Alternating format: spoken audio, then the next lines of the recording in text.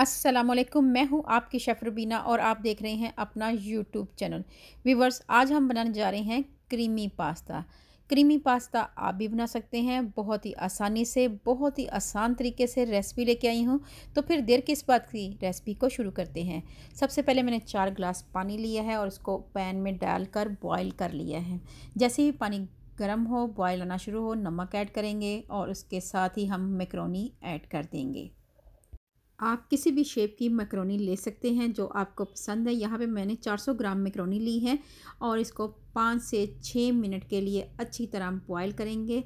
Mix करेंगे। अच्छी तरह इसका बॉयल होने तक वेट करेंगे। व्यूवर्स, आप देख सकते हैं कि मैक्रोनी में बॉयल आ चुका है और मैक्रोनी अच्छी तरह पकना शुरू हो चुकी है। मेरी आपसे हम्बल रिक्वेस्ट है, अगर आप मेरे चैनल पर नए आए हैं तो मेरे चैनल को कर लें। जल्दी से सब्सक्राइब और बेल आइकॉन को ज़रूर प्रेस किया करें ताकि लेटेस्ट नोटिफिकेशन आप तक पहुँच सके। व्यूवर्स, इसके साथ ही मैंने थोड़ा सा कुकिंग ऑयल ऐड किया है जिससे मैक्रोनी आपस में चिपकेगी नहीं। पाँच से छः मिनट हो चुके हैं और मकरोनी हमारी एटी परसेंट तक कुक हो चुकी है। अब हम पैन को साइड पे कर लेंगे और मकरोनी का पानी ड्रेन कर लेंगे। एक पैन लेंगे और उसमें थोड़ा सा कुकिंग ऑयल ऐड करेंगे। जैसे ही कुकिंग ऑयल गर्म होगा, तब हम इसमें चिकन ऐड करेंगे। वीवर चिकन मैंने छोटे छोटे पीसेस में कट कर लिया है, ये ऐड करेंगे। ये 250 ग्राम चिकन है, ये ऐड किया है।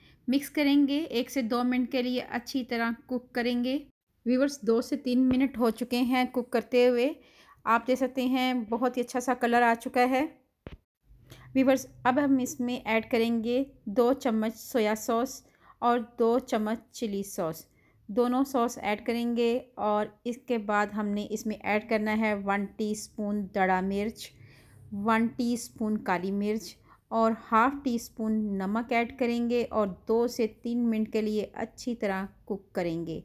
वीवर्स तमाम मसाले ऐड कर दिए हैं। अब हम इनको दो से तीन मिनट के लिए अच्छी तरह रोस्ट करेंगे ताकि ये अच्छी तरह मसाले यकजान हो जाएँ, चिकन के साथ अच्छी तरह लग जाएँ और तमाम फ्लेवर इसमें आ जाए।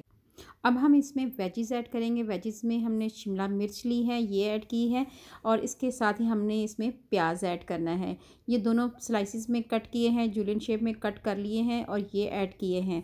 और इन दोनों को अच्छी तरह मिक्स करेंगे और दो से तीन मिनट के लिए वेजिस के साथ कुक करेंगे। वेजिस के साथ हमने बहुत ज़्यादा इसको कुक नहीं करना, बस दो से तीन मिनट के लिए इसको कुक करेंगे ताकि ये थोड़ी सी सॉफ्ट हो जाए। वेजिस हमारी पक चुकी हैं, अब हम इसको साइड पे कर लेते हैं। अब एक प्यारा सा पैन लेंगे और उसमें ऐड करेंगे थोड़ा सा कुकिंग ऑयल। जैसे ही ऑयल गर्म हो, तब हम इसमें पाँच से छः जवे लहसन के चॉप ऐड करेंगे और इसको दो से तीन मिनट के लिए कलर चेंज होने तक इसको कुक करेंगे। यहाँ पे आप बटर का भी इस्तेमाल कर सकते हैं। यहाँ पे मैंने बटर का इस्तेमाल नहीं किया। इसके साथ ही हमने क्रीम लेनी है, पैकेट वाली 200 सौ ये ऐड करेंगे और एक से दो मिनट के लिए कुक करेंगे। वीवर यहाँ पे आपने पैकेट वाली ही क्रीम का इस्तेमाल करना है ताकि इसका फ्लेवर बहुत ही अच्छा आए। वीवर एक से दो मिनट हो चुके हैं, अब हम यहाँ पे ऐड करेंगे थोड़ा सा दूध, यानी कि हाफ़ कप के करीब दूध ऐड करेंगे और इसको अच्छी तरह मिक्स करेंगे और एक से दो मिनट के लिए इसको अच्छी तरह पका लेंगे और उसके बाद हमने इसमें ऐड कर देना है चीज़, यहाँ पे अपनी मर्ज़ी से कम या ज़्यादा चीज़ ले सकते हैं।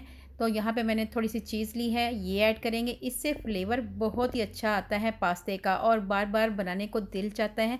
तो आपने जब ये पास्ता बनाएँ तो इसमें यह चीज़ लाजमी ऐड करें, इससे फ्लेवर बहुत ही अच्छा आता है।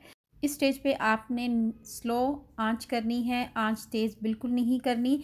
तो यहाँ पे मैंने इसमें ऐड कर रही हूँ वन टीस्पून काली मिर्च पाउडर, वन टीस्पून ऑरिगेनो और वन टीस्पून लहसुन पाउडर और हाफ़ टी स्पून मैं नमक का ऐड कर रही हूँ क्योंकि नमक मैंने पहले भी ऐड किया है तो आप नमक अपनी टेस्ट के अकॉर्डिंग ऐड कर सकते हैं।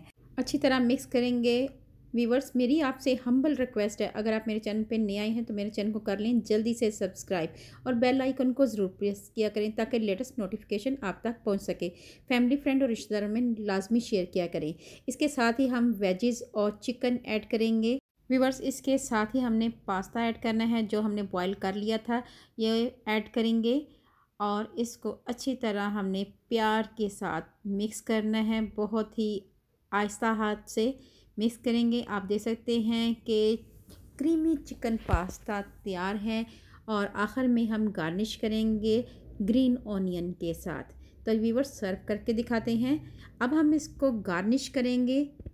वीवर्स इस मज़ेदार क्रीमी पास्ते को गार्निश करेंगे स्प्रिंग ऑनियन के साथ, ऑलिव के साथ।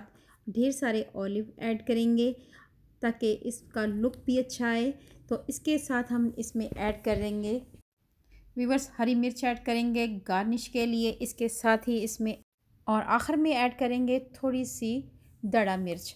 इससे हमारा क्रीमी पास्ता और भी खुशनुमा लगेगा और खाने में टेस्ट भी बहुत ही अच्छा आएगा। वीवर बच्चे बड़े क्रीमी पास्ता बहुत शौक से खाते हैं। तो वीवर्स अगर आपको ये मेरी रेसिपी थोड़ी सी भी अच्छी लगे तो फैमिली फ्रेंड में लाजमी शेयर करें। अल्लाह पाक आपको सेहत तंदरुस्ती वाली ज़िंदगी दे। अल्लाह पाक आपको दुनिया जहान की तमाम खुशियाँ दे। अल्लाह पाक आपका दस्तरखान वसी करे। अपना और अपने प्यारों का ख्याल रखें। दुआओं में मुझे याद रखें। अल्लाह हाफिज़।